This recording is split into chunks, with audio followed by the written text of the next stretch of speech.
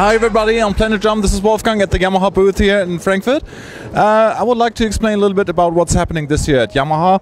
We changed a little bit our stage custom. The stage custom is on the market since roughly 20 years and some of you guys will have it probably at home. What we did this year was we uh, redesigned the bass drum claws. We put gaskets under every metal part like here with the, with the tom mount, even the badge or the air hole.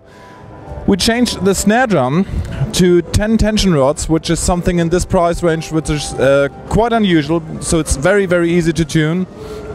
It's still a 100% birch shell.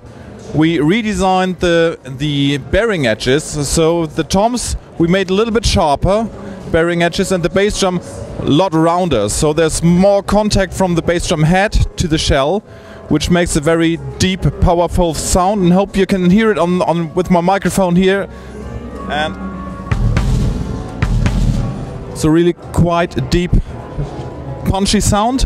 Um, it's got a different packaging concept. So a five-piece set with snare drum, three toms, bass drum, come in one box. Um, so it's hopefully also for the UPS guys still easy to carry. And then you can decide if you still have some hardware left over, I take just the shell set or I go for the 700 um, single braced hardware or the 600 series double braced hardware.